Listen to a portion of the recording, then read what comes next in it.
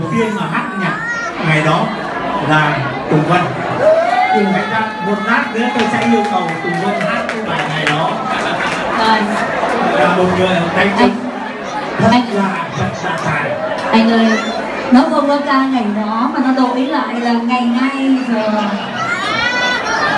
tôi xin quý vị một tràng pháo tay thật lớn cho mấy em tôi là CPC đây là Marie. Marie.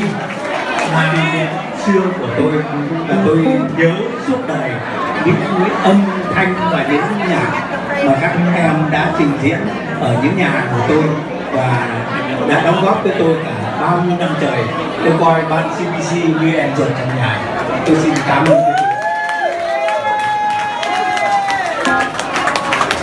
Cảm ơn anh Joe rất nhiều và cảm ơn anh Trung Nghĩa. À, Hà Bao một lần nữa một tràng pháo tay cho anh Joe Bạc Sen và Trung Nghĩa.